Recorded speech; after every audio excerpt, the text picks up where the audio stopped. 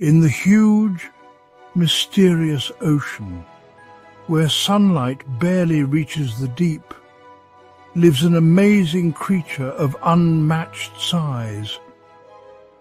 Imagine a creature longer than the airplane, weighing more than 30 elephants. This is the blue whale, the largest animal ever to have graced our planet.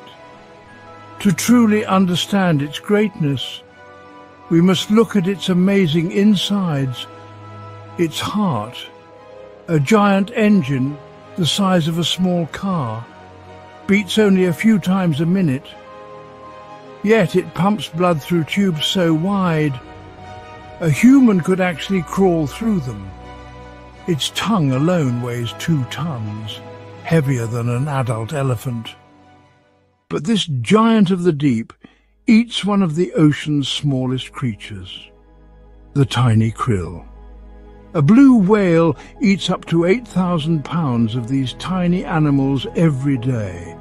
That's about 40 million krill each day. Each year, these giants go on long journeys across the world, following the seasons.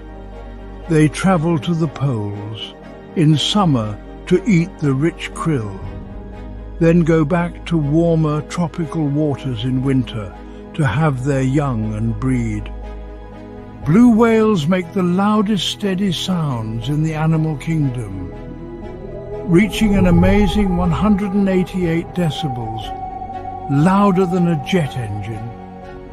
These low-pitched calls can be heard from hundreds, even a thousand miles away, like a shout across the open ocean.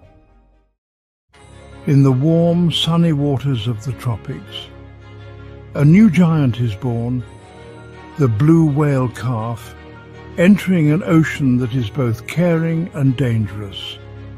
After being pregnant for 11 to 12 months, the female gives birth, usually in the winter.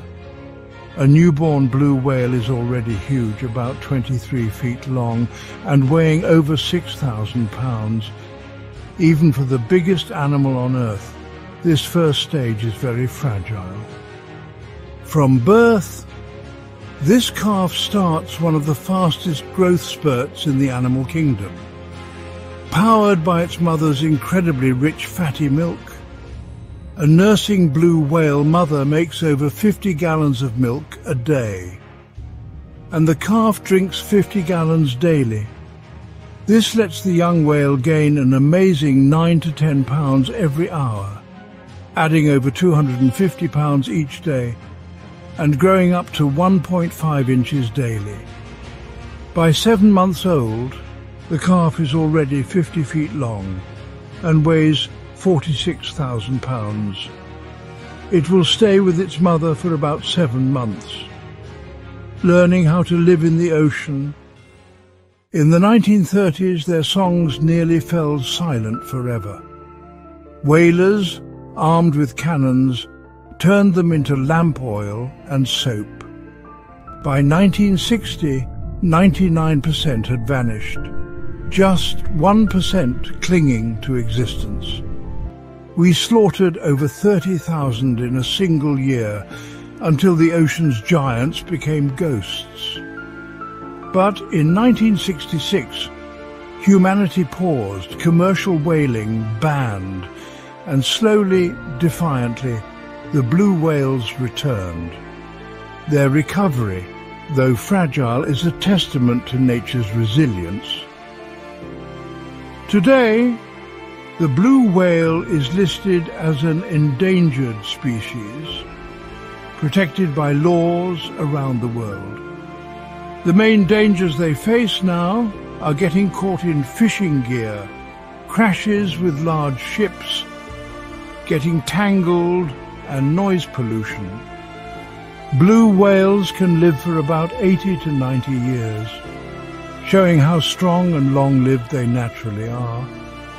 But their future now depends greatly on what we do. Strong efforts to protect them are happening worldwide, focused on reducing the modern dangers. Scientists and conservationists are working to lower ship strike, help injured or tangled whales and lessen the effect of ocean noise. Modern-day techniques like satellite tracking is being used to guess where blue whales might be almost instantly. This gives important information to reduce human impact in dangerous areas. The blue whale, a unique symbol of the ocean's lasting greatness, reminds us that our planet's health depends on our willingness to understand, protect and live with its most amazing creatures. Their survival isn't just about saving one species, it's about keeping our global oceans healthy and balanced, which are vital for all life.